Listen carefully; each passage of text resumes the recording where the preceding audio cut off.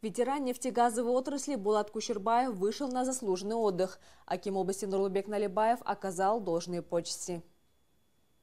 Булат Елеулы, ел экономикасының локомотиві болған В нефтегазовой отрасли Булат Елеула проработал почти 40 лет. Занимал руководящие должности в компаниях Тургай Петролиум, Петроказахстан, Кумколь Ресурсес. Внес большой вклад в развитие региона, содействовал реализации важных проектов, придерживался социальной ответственности бизнеса.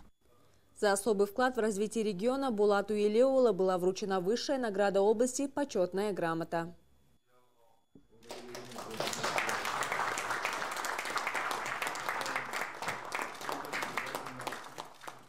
қоғамға қолымыздан келгенше үлесімізді қосып Внес свою лепту в развитие общества, насколько это возможно. Были разные времена. Мы прошли через все это.